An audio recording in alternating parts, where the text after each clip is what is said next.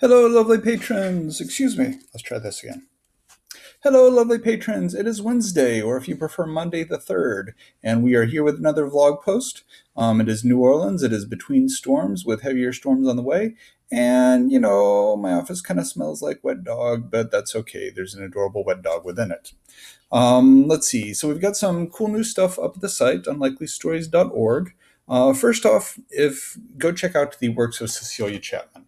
Um, she's put together a new series called Strange Love about orchids, and we've got up six watercolors right now that are um, that are watercolored abstract impressions of thoughts of orchids. Uh, really beautiful stuff. Um, you really want to check it out. It's called Strange Love up right now, and we've got some other cool stuff up there. We've got a new poem by Clay Thistleton. Um, Clay has written, uh, first off, it's called Red Herring Leather Boots, colon, Gabriella Versace uh, spelled, I think it's pronounced Versace because it's spelled in an Italian way rather than a French with two C's at the end. Um, where the hell is, is the famous Versace from? I really don't care. Okay, so so what he's done is uh, Clay Thistleton is um, an Australian poet who writes these very uh, long pieces with a lot of um, uh, projective verse work, a lot of form issues. Um, and this one is about a um, nonfiction account of someone who says they were abducted by aliens. And um, this um, strips down their account and renders it in poetic form and starts dealing with those issues in a poetic form. Really, really fascinating work. Um, so, yeah, go check that out. Go check out Cecilia Chapman and check out the other cool stuff we have on Unlikely right now um, lots of cool stuff. I've been working on a few projects. Um, I've updated my personal website, which is at jonathan.unlikelystories.org. No www, just jonathan.unlikelystories.org. That's up. I've been um, working on getting some of the old unlikely books titles converted into Kindle format. Um, we're doing that now. We're working on um, um Belinda Superman's Black Holes, sorry, Blue Rooms, Black Holes, White Lights by Belinda Subramanian. Um, that's been out for a while as a chapbook. We re-released it as a perfect bound, that is glue bound chapbook. And now we're releasing it in a Kindle edition, um, probably sometime next month. Uh, we're doing the same thing with Lawrence Welsh's Carney Takedown, which is uh, from further back and um, back in 2009. It's a chapbook. He did not want it uh, reproduced in the glue-bound edition. Sorry, I thought I heard someone knocking at the door. He didn't want a new glue-bound uh, uh, edition because to him that was a one-time chapbook. We made 50 copies. He wanted it to be a limited run, but he is interested in having it uh, released as an ebook so the more people can read it without actually buying it. Um, I mean, it'll be like a buck 99, you know, you'll be all right. Okay, so that's coming out. Um, we'll have an ebook edition of Scorpions, our title from last year by Joel Chase, and a new Kindle edition of Soy Solo Palabras But Wish to Be a City, which is a graphic long poem written in native Spanglish. And by native Spanglish, I mean um, it is not English with a few Spanish words. It is not Spanish with a few English English words. It is a native uh, combination of the languages written by someone who grew up hearing both simultaneously spoken all the time. Really, really cool stuff. Beautifully illustrated. You can find that on Smashwords now. Um, if you're not familiar with Smashwords, that is an alternate uh, ebook provider. We've gone ahead and put it up there. Um, and you can also purchase it, a physical copy from Amazon. Um, beautiful, beautiful work. Uh, should really check that out.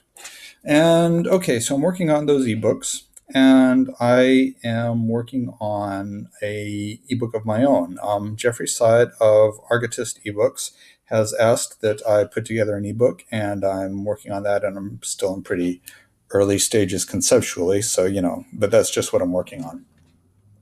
Okay, so those are projects. Those are what's up on Unlikely um, right now. And very tangentially, um, and by tangentially, I mean not related at all, uh, Rosalind and I went to a um, concert the other evening. It was a small classical concert by a contemporary classic composer.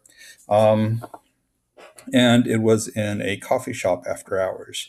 Just a fun little thing, you know, for friends of the musicians um, and the stage manager um, and the um, the cafe owner had quite a few people there.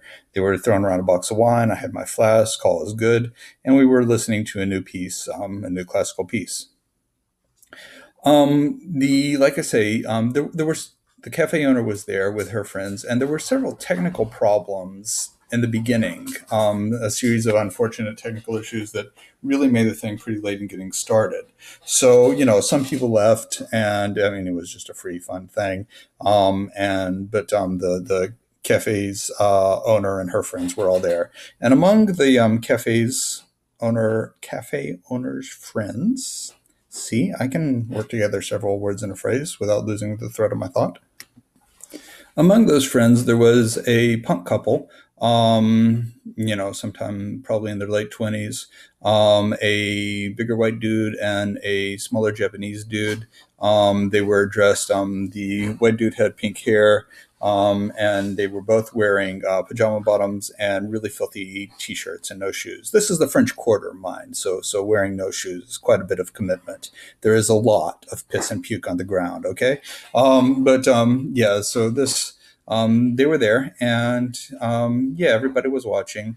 And the little dude started rubbing up against the big dude. And it's like oh it was cute. You know there was space for them or for at least for the little dude to lie down. And he was lying down and he was kind of rubbing up on the big dude. Um, you know they, they were on ecstasy. I mean that was obvious. Um, but it was still pretty cute until the little dude started doing an interpretive gyrating dance in the very very limited floor space between the musicians and the audience um, just took it upon himself to um, do a dance, which he did very well. I'm thinking he's a street busker, and that's what he does. But it was a little crowded, um, and you know he was he was gyrating, which no one was really expecting. And you know, at, at first I'm like, oh, this is completely inappropriate, and then I saw he had an erection. And there's a certain point where the inappropriate just becomes sublime and you have to roll with it. Now, that's for me as an audience member. I can't say the musicians thought much of it, especially when he decided to uh, hump one of the music stands. That was pretty exciting. Um, so we've got this uh, little dude in pajama bottoms with a raging heart on, humping the music stands while the musicians are trying to work. And I, again, as an audience member, it just kind of added to the whole experience. Um, and as we left, we we knew the stage manager, and we you know kind of hugged him goodbye and and waved and extricated ourselves quickly because he was having to apologize to each of the musicians in turn. Which um, yeah. Yeah, I don't envy him that task. Um, I have no reason to envy anyone. I got to watch this um, man gyrate and uh, hump a music stand to amuse himself at a concert, and I, I came out way ahead on this one. Uh, I doubt they'll be working with that cafe again then. Okay, that's all. Um, a few things I'm working on in a pointless story. Have a wonderful week.